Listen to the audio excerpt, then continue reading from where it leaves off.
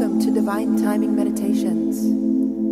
This is a verse from the Tao Te Ching. Please refer to the description box below to learn more about the Tao Te Ching and how to incorporate it into your daily life.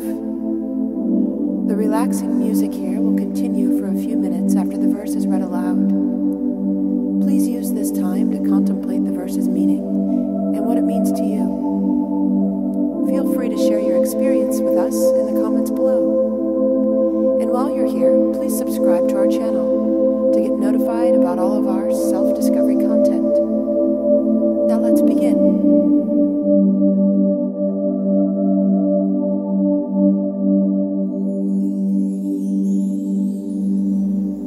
Verse 64 of 81, Tao Te Ching. A thing that is still is easy to hold. Given no omen, it is easy to plan. Soft things are easy to melt. Small particles scatter easily. The time to take care is before it's done. Establish order before confusion sets in.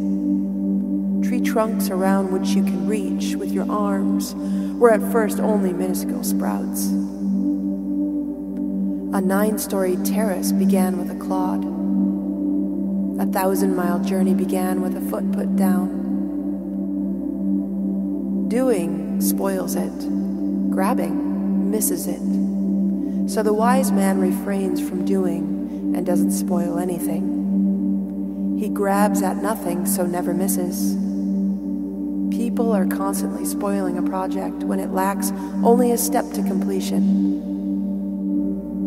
To avoid making a mess of it, be as careful of the end as you were of the beginning. So the wise man wants the unwanted. He sets no high value on anything because it is hard to get. He studies what others neglect and restores to the world what multitudes have passed by. His object is to restore everything to its natural course. But he dares to take no steps to that end.